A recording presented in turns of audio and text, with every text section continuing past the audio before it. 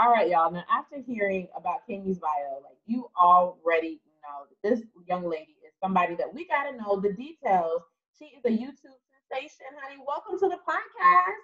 Thank you for having me. No problem.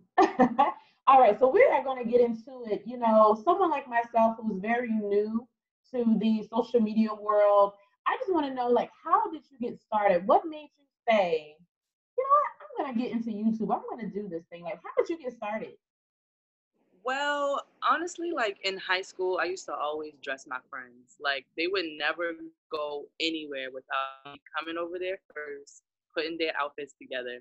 And um, I originally started like watching YouTube for just like music videos and stuff like that. I didn't know they had a beauty community or fashions or anything of that sort. So uh, when I stumbled upon like a few girls and then I saw that they had like blogs outside of YouTube videos, I was like, hey, I could definitely do something like that. I love putting right. outfits together.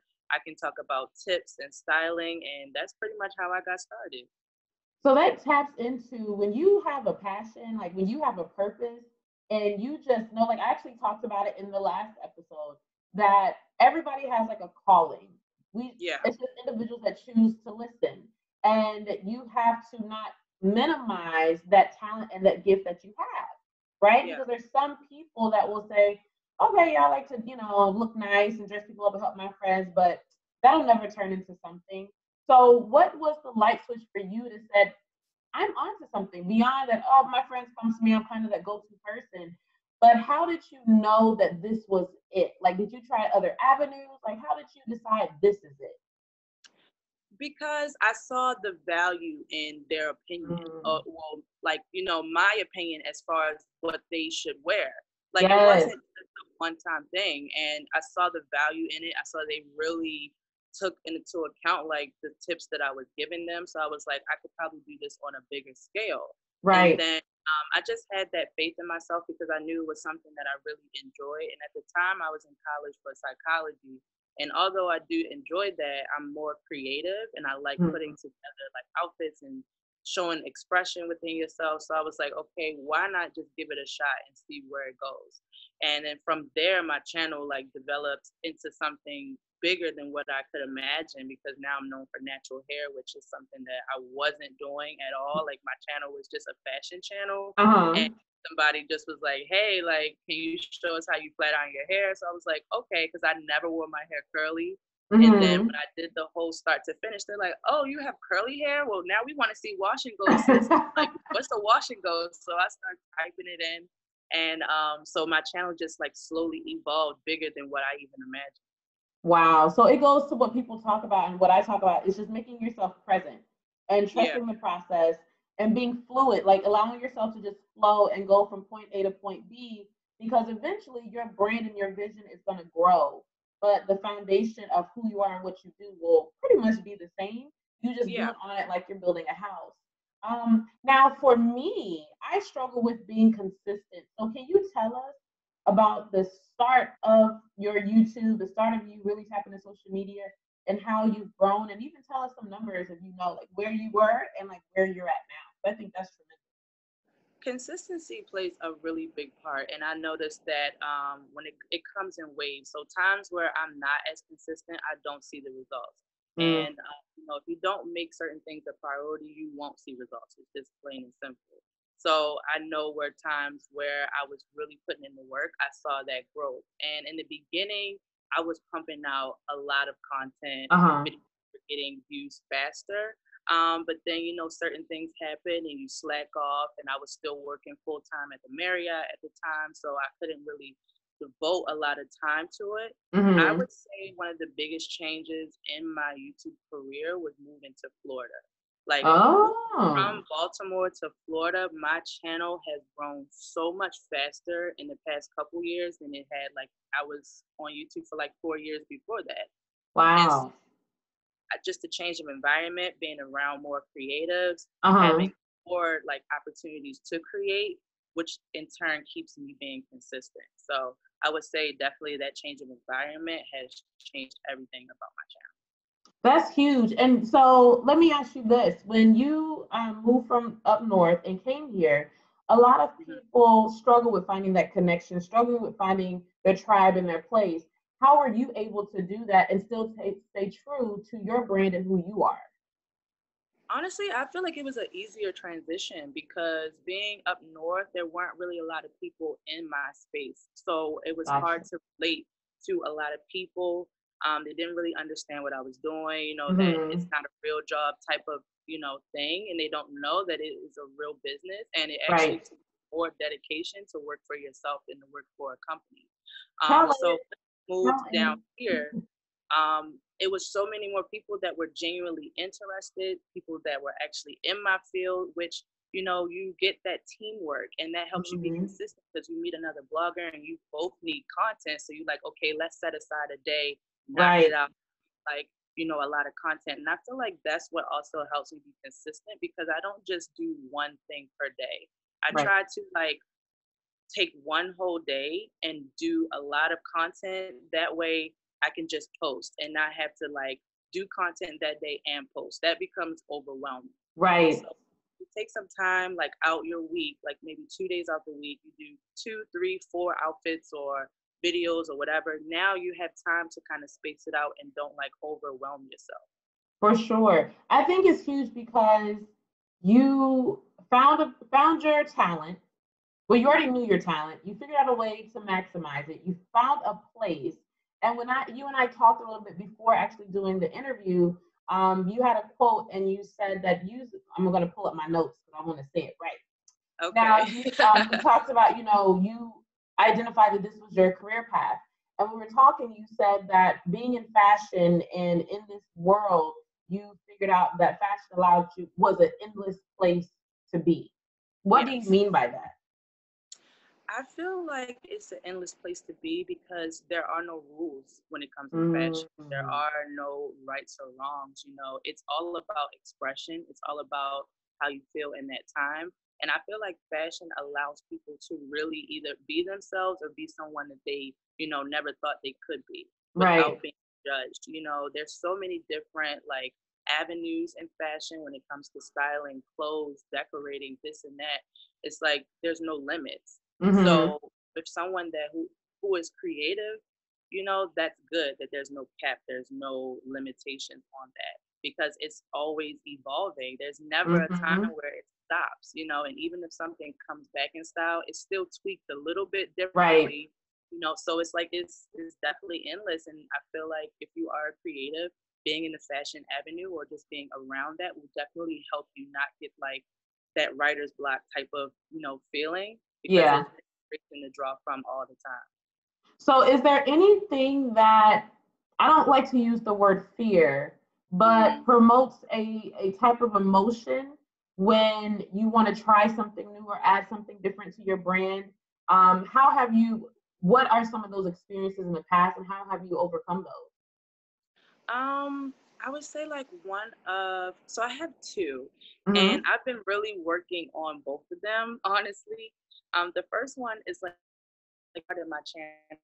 I didn't present myself like authentically, you know. I was like making sure I was so like polished and this and that, which like my personality is a lot more fun, you know. so as as I've grown, I'm like, okay, I'll test out certain things and certain mm-hmm. videos that will do well or just me being myself. So it's like I'm trying to definitely show more of my personality and be more personable within my brand because uh-huh. I think that is what your audience wants to see. Yes, like you know a pretty picture or a nice video or, or editing, but they really want to connect with you as a person. And I feel like I'm really authentic in my real life, so I'm trying to translate that on camera.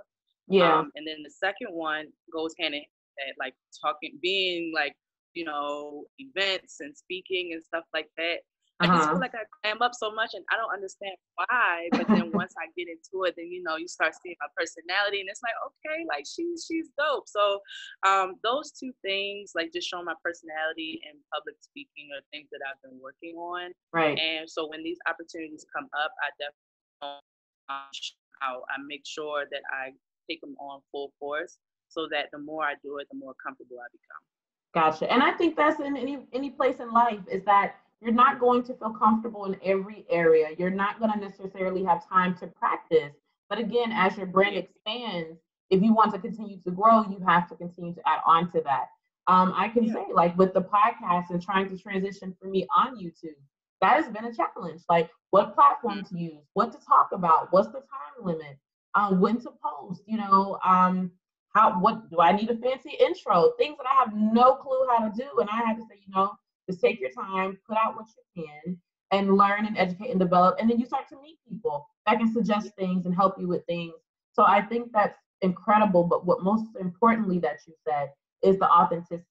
And I am huge on that. And it's something that my podcast, being a meditation instructor, um, it really forces me to be authentic, right? Like I can't be on here talking about self care and not perform and not demonstrating self care for myself. I'm human. I fall short, but I communicate that when things aren't going well. And I will say that through your images, and I have watched some of your YouTube videos, you definitely are authentic. Like you present as if I know you, right? I've met mm-hmm. you one time in real life, um, but you it is a vibe that you have that like, hey, she's cool. What's up? Let's talk. And it comes across in your videos. So for I'm actually shocked for that to be an area that you are not necessarily like you're still working on because it doesn't really? look that. Yeah, you you look comfortable. Um, because I don't know if I can sit out here and do photo shoots all the time. Like I love a good photo shoot. but honey, I couldn't do it with you had a video recently of you were showing different outfits with like one with one garment and you were showing different Oh yeah. Girl, no, I shop off of a mannequin.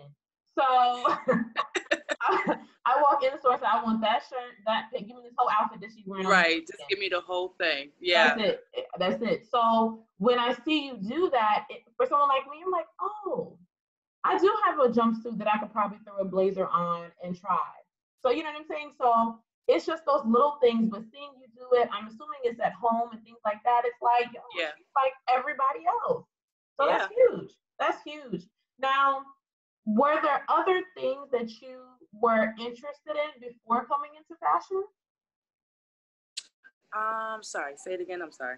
Were there other things that you were interested in before coming into fashion? Example, like I was an athlete, oh. so sports was something I was always into, but I didn't go pro, and I'm just like, what do I do next?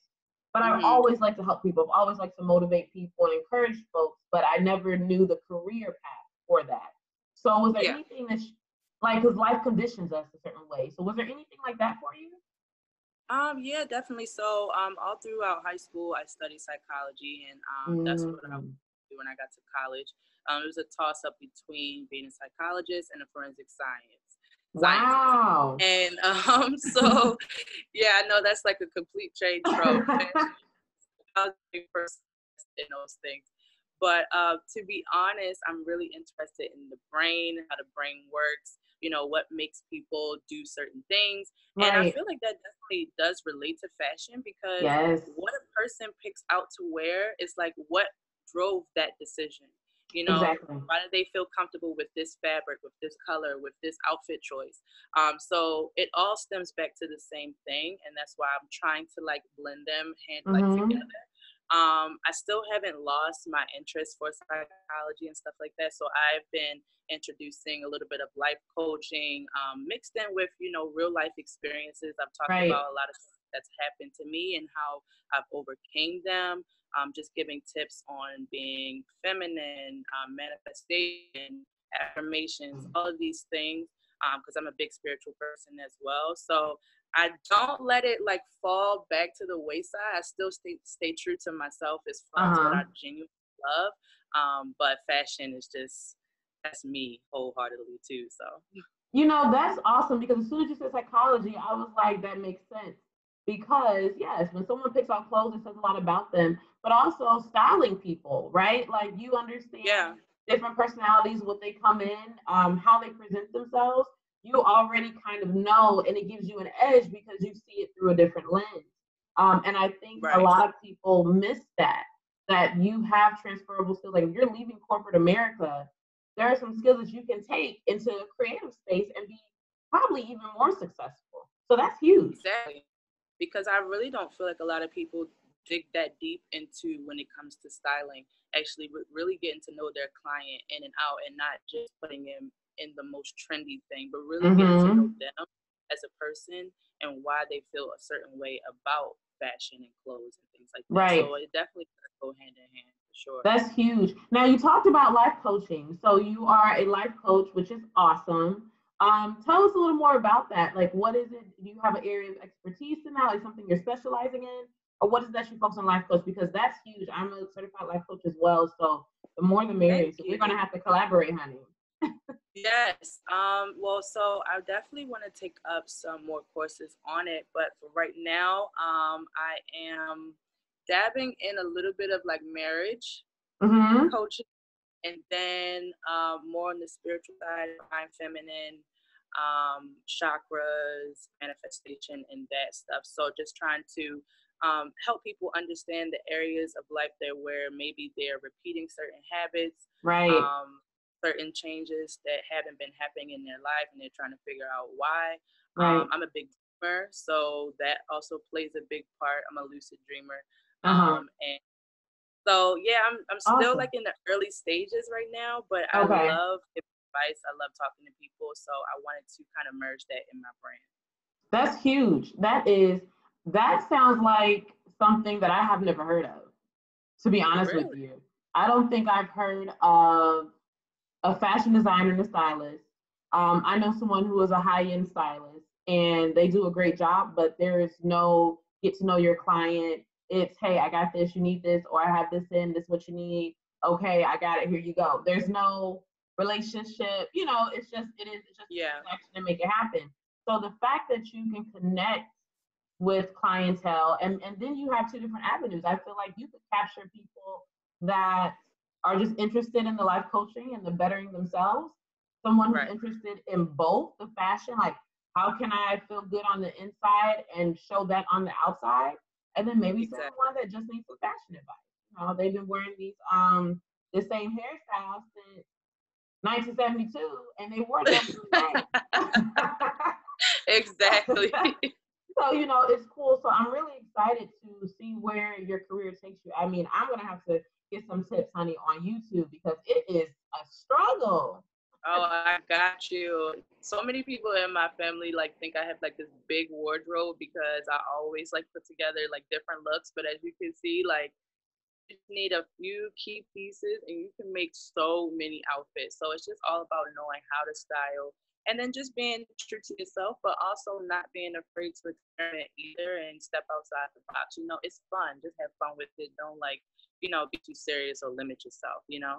Absolutely. I think that's the key. Have fun, enjoy what you do, and be authentic, like you said earlier. Now, before we wrap up, is there anything that you want to share? Do you have any events going on, anything coming up that you want to share with the people? so yes, um, a few years ago, I was going to go on tour, and I am now thinking about rolling that back out again. So it's going to be cocktails and combos um, that's going to be coming up soon. So I'm going to do like a 10 city tour, just meeting everybody, having a few different people on my panel from each city, having right. cool food from each city. So it's going to be a really cool thing. We're going to sit down, have chats, you know, talk and get to know each other, just have fun. That's really what my brand is about. So um, that's coming up soon. I'm not sure when yet, but definitely stay tuned on all my social media and yeah, that's that's pretty much it for me. I'm just, you know, filming every day, pictures, stuff, getting to know everybody, you know, that's on my tribe, my chameleons. That's my little name on oh, YouTube. Okay, Yeah, so yep, my little chameleons, because you know I'm I'm forever changing and I'm right. you know, never staying one place. So I feel like that was a fitting name. But yeah, that's, absolutely. That's well, congratulations on that. Um, I Thank I you. know the planning that comes, and I have that on a way down the line. It'll be yeah. later, but I, I know that so much. Uh, much success to you on that and preparation so and everything. And guys, listen, all of her information is going to be in the episode description. I'll be sure to have all of her social media social media handles so you can hit her up. Make sure you subscribe to her YouTube channel and mine. Um, because honey, I'm struggling. I need some numbers. I need the numbers. But thank you again. I'm sure we will definitely hear from you again on the podcast. because you're doing big things. So I definitely, and Yup, She Said It podcast wants to support you in any way that we can. Yes, thank you so much. This was a wonderful opportunity. I had a good time talking to you. no problem. All right, guys, we're going into our next and final segment.